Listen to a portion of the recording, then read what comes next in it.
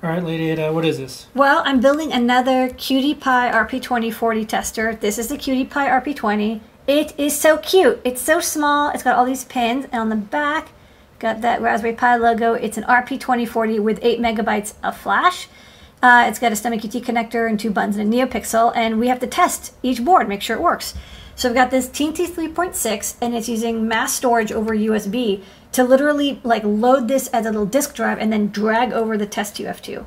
So I plug this into USB-C, and then I've got this little cutout here, which, because there's no mounting hole, so just line it up perfectly. I press the button, and this runs the test. And then it takes about two seconds, and then we know it's working. So if you want a QT Py, sign up! It's part number 4900, easy to remember. We're going to be making more of these as you see. It's fast, so I'm going to test these and put them in stock today.